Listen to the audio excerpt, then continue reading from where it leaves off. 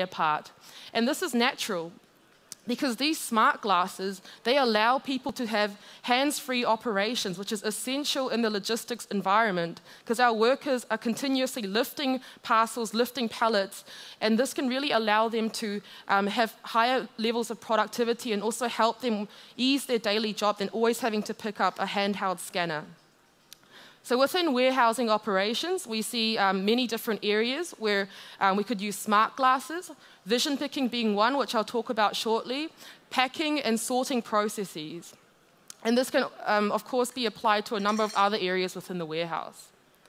Another area is for value-added services. And here we've got um, a screenshot of Volkswagen MARTA. It's an excellent application. It really shows step-by-step -step how to do a repair task. And actually at DHL, we also do value-added services. We do assembly of um, car panels, we do assembly of industrial printers, we also repair laptops to a certain extent on behalf of our technology customers. And of course, using these smart glasses, we could actually blend in step-by-step -step instructions on how to repair this laptop, especially for new workers. Um, but as I mentioned, of course, um, vision picking is the most prominent example within the logistics industry. And that's really where we're concentrating our efforts on this year. And um, we're working together with our partner um, Ubimax, they're a German company um, that do wearable computing solutions. And together with our customer, we're looking to pilot um, already in the coming weeks at our warehouse um, vision picking um, in a certain area within the warehouse. And we're going to be using the Vuzix um, M100 and the Google Glass to see how um, a graphical representation of some of the warehouse environment could enhance productivity and reduce errors.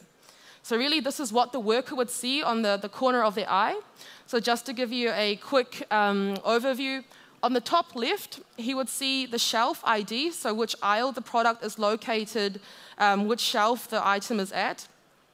And then on the bottom, bottom left, you've got an actual graphical representation of the shelf. So for workers, experienced pickers, they don't need navigational errors, uh, arrows telling them where they need to go into the warehouse. They've been doing this for years. They know where aisle 87 is within the warehouse. But what they don't know sometimes is when they arrive at shelf, uh, I don't know, 1414, that it's difficult to find that exact box within the shelf where they need to pick from. And in this, this example, it's the, the little product there. And using a graphical interface, you could immediately see, um, okay, it's, it's four items from that particular box. And then on the top left, or uh, top right, we've got a graphical representation of the trolley. So in some of our warehouses, we have trolleys. Um, this one has three bins. So that basically means of the four um, products that he's picked, two go into the left bin of the trolley and two into the central bin. And this brings even more value um, to some of our warehouses where we've got trolleys that have about 15 different bins.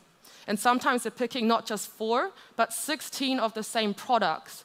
And of the 16, in a paper form, they have to see, okay, um, two go into trolley bin one, three go into trolley bin six. So you can really see how this could immediately start to provide value um, for our order pickers instead of a plain paper-based approach.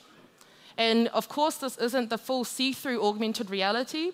Um, we think the technology is not quite there yet, but we already have the vision. And our vision is to really do see-through um, augmented reality in the warehousing, and we'll keep continue our partnerships with Ubimax and hardware providers to really see how we can achieve this in the near future. And um, oh, maybe one, one mention here is um, we'll be piloting this actually in the Netherlands, and we'll have some first results in around January. So uh, it'll be great to share also with you what our lessons learned.